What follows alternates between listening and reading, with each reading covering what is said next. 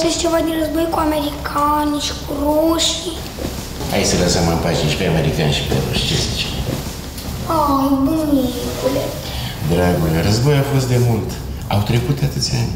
Crezi că mai amintesc eu ceva din vremurile alea? Zim din nou cum mai vrem medalia de onoare. Te rog, bunicule.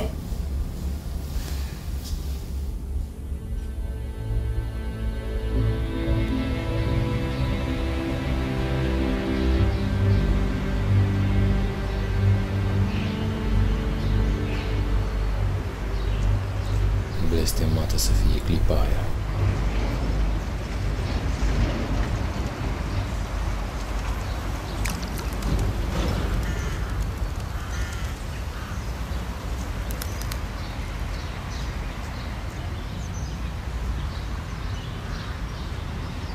Bunicule, zim din nou cum mai vrem medalia de onoare. Te rog, bunicule.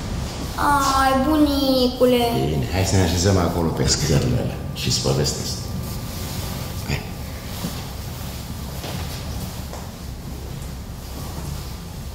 Să știi că războiul nu a adus niciodată nimic bun. Mai rău.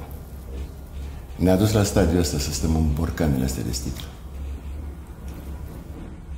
Începuse cel de-al doilea război rece și armata avea nevoie de oameni. Unii pregătiți, alții mai puțin pregătiți, dar aveau nevoie.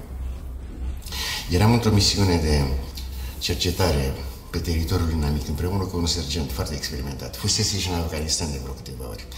Și cu Mihai, soldat ca și mine. El avea 19 ani atunci, eu 23.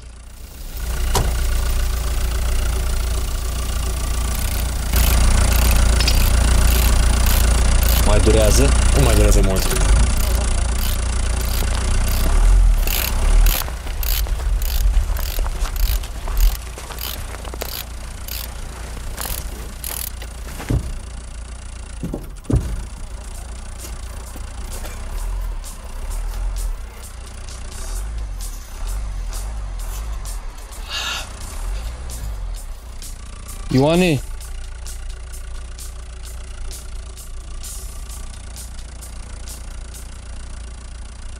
Da, domnule sergent. bă, tu știi ce e patria? Nu știu, domnule sergent. Mihai! Patria e mama mea. Foarte bine, Mihai. Ioane, ce e patria? Patria e mama lui Mihai. Ba nu, Ioane, patria e și mama ta. Ce ai înțeles, Ioane?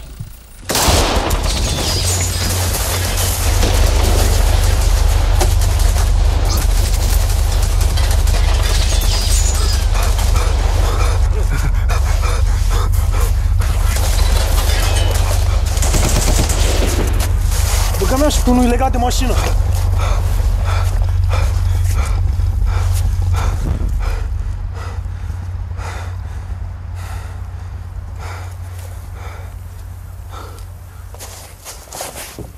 Hai în pula mea odată!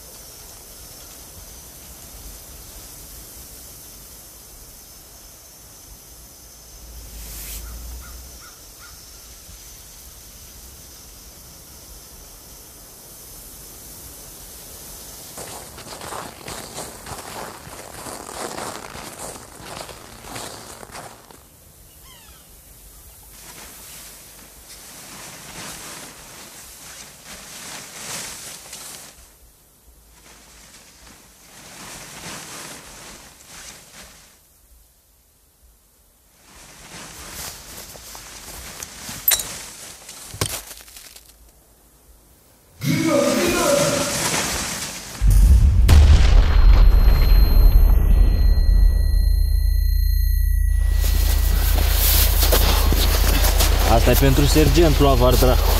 Asta e pentru patrii. Legat de discuția cu patria, înseamnă că tu ești frate meu.